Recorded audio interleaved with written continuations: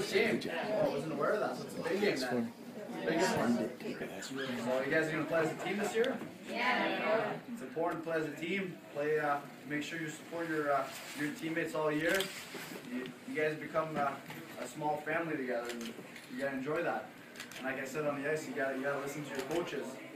If you don't listen to your coaches, it's not gonna work. You guys won't win. It's important to, uh, to understand what they're saying, and if you do it, you guys are gonna start winning. That's how a team works. Any questions? Claude, what's the best advice you got when you were this these guys' ages from your coaches? Ah, have fun. I mean, it's uh, you can have a couple bad games and then you start being down on yourself, but it's it's it's, it's only it's only a game. You gotta go out there play play a game, have fun, and you gotta remember why you're playing the game. It's, it's because it's a it's a great game to play. Yes. Who's your favorite